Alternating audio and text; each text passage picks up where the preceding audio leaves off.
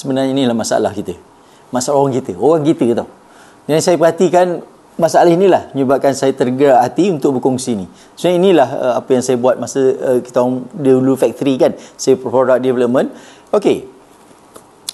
Uh, costing ni sebenarnya kita kena buat sebelum kita berniaga. Orang kita berniaga dulu baru buat costing. Silap. Daripada costing ni lah SOP sebelum nak buat, buat costing kita perlu ada uh, resipi. Resipi tu perlu berformatkan uh, standard operation procedure lengkap, komplit baru kita boleh buat kos baru kita dapat kos masakan.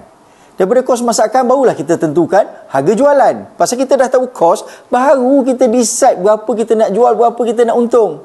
Oh, start berniaga. Ini kalau kita dah start berniaga nak patah balik tiba-tiba eh besok nak naik harga, memang parah. Ha, macam tu.